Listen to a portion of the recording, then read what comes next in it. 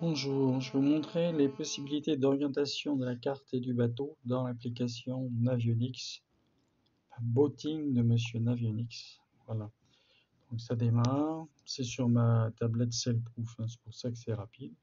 Bon, je vais me prévoir une route parce que sinon euh, la démonstration sera inutile. Euh, je suis là, à la maison, je pars de là, et puis mettons que j'ai envie d'aller à la pêche ici je vous dis pas pourquoi, mais vous devez vous en douter. Je dis que j'y vais. Et donc en bas à gauche, il y a un rond bleu ciel avec autour un autre rond blanc et au milieu une flèche. Cette flèche, elle est toujours positionnée lorsqu'on lance une route de façon à faire un zoom automatique entre en haut mon, mon bateau qui va se déplacer vers ce premier point-là. Donc si je veux voir ma carte de plus loin ou de plus près, j'appuie sur les boutons moins et plus. Parce que si jamais je mets mes doigts sur la carte, vous voyez que c'est passé en bas à gauche en bleu foncé et non plus en bleu clair. Donc le zoom automatique n'existe plus. Chaque fois que je bouge ma carte à la main, je n'ai plus ce zoom mathématique qui va être fait.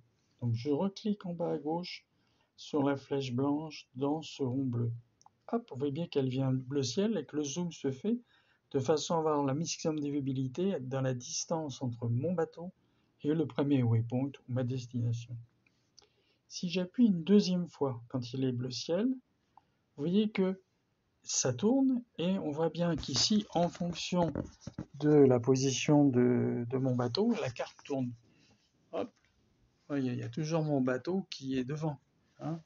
et c'est la carte qui tourne, comme dans une, un GPS des voitures. Voilà. Ensuite, si je continue d'appuyer, au lieu d'avoir des comme un phare très large, je veux un faisceau étroit.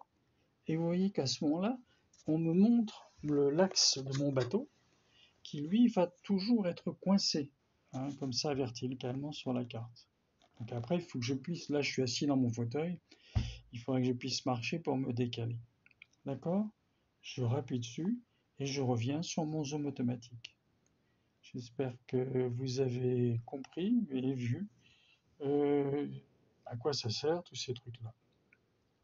Donc pensez à appuyer dessus de temps en temps et évitez quand vous êtes en route de mettre vos, vos doigts sur euh, l'écran, mais plutôt d'utiliser sur plus moins de façon à ce que ça fonctionne et que ça reste en bleu ciel. Je mets mon doigt dessus, regardez, hop, ça passe en bleu foncé.